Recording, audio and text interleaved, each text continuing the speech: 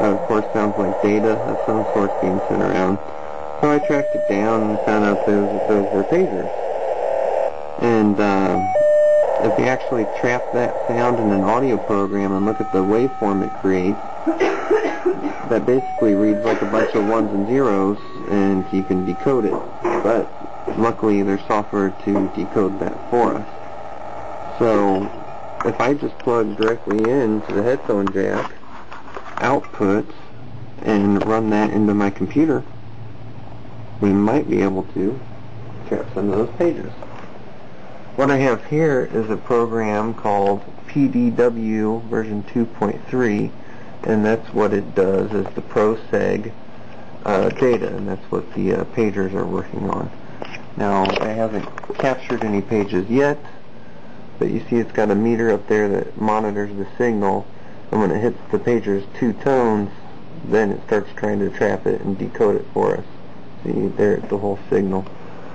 There, now I'm getting some data coming through.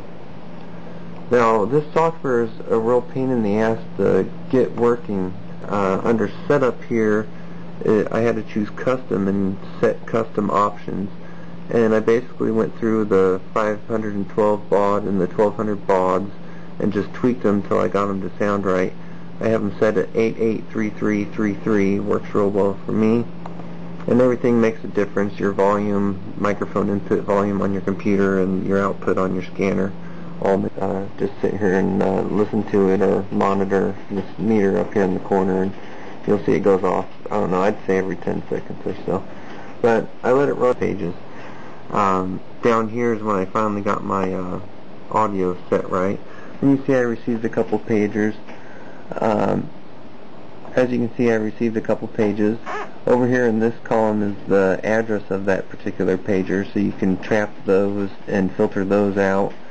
So if you, you know, you can personalize them a little bit, and you can know who they are if you see lots of them.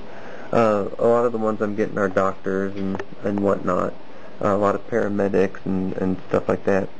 The system sends out a test message every once in a while just to ensure that the system's up and running. This is message 5573. Uh, other than that, that's pretty much about it. There's a few common frequencies to monitor, and if you get your system set up just right and you get good quality signal, uh, it's easy to do, and your scanners probably do it all.